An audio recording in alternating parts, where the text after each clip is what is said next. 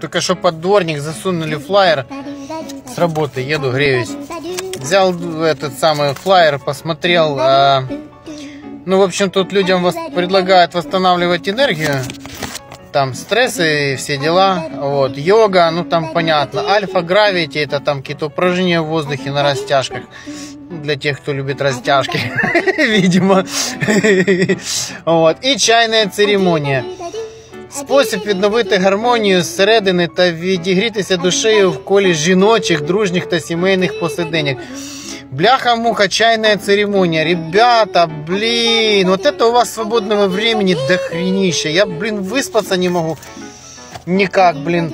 Встаю, блин, в 5 утра, блин. Они мне чайную церемонию предлагают. Только надо иметь свободного времени, чтобы, блин, еще и чай ходить, пить. Какое-то незнакомое место к незнакомым людям. Ну, я не знаю, извините, но это как-то не для меня. Кому подобное нравится, напишите в комментариях, пожалуйста. Спасибо.